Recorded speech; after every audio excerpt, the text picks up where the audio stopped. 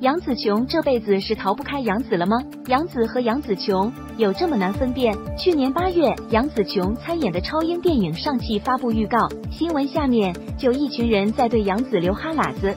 后来，杨紫琼五十九岁状态上热搜，评论里也是一群人在夸杨紫美貌。再后来，杨紫琼因病缺席《妈的多重宇宙》首映礼，热搜里依然是杨紫、杨紫、杨紫。总之。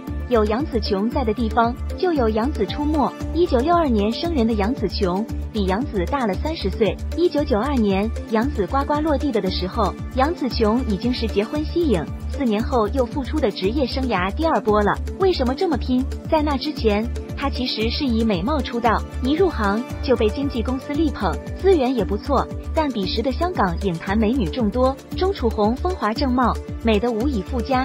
林青霞、王祖贤相继从台湾过步而来，被一众导演追捧。张曼玉、关之琳、蓝洁瑛等已崭露头角。外来妹杨紫琼在一众美女中并无多少相貌优势，可惜走红没多久，公司老板潘迪生就向她求婚。